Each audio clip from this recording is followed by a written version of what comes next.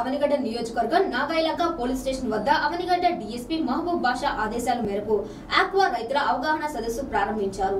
ఈ సందర్భంగా అవనిగడ్డ సీఏ భీమేశ్వర్ రవికుమార్ మాట్లాడుతూ ఆక్వా రైతులు అందరూ కూడా వారి రొయ్యల చెరువుల సాగు విషయంలో ఎలాంటి ప్రమాదాలు జరగకుండా తీసుకోవాల్సిన జాగ్రత్తలు పలు జాగ్రత్తల గురించి వివరించారు.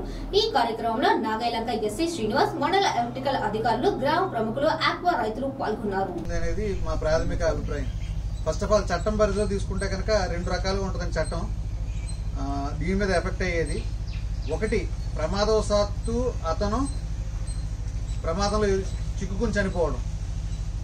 రెండవది ప్రమాదం జరుగుతుందని తెలిసి కూడా ప్రమాదం జరుగుతుంది ఇక్కడ జరిగే అవకాశం ఉంది.